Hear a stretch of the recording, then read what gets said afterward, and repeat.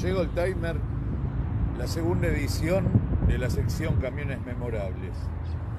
Tras el éxito y la aceptación de todos ustedes del Mercedes-Benz 1114, en esta oportunidad llega el Bedford 1965.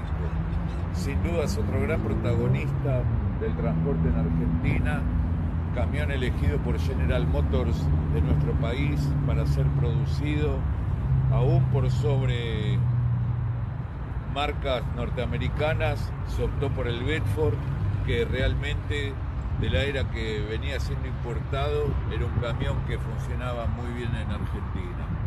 El ejemplar que van a ver, realmente un estado único, pareciera que nunca hubiera trabajado, pero sí lo hizo, es un ejemplar restaurado y que lo van a poder ver próximamente en nuestro canal. Bedford 1965.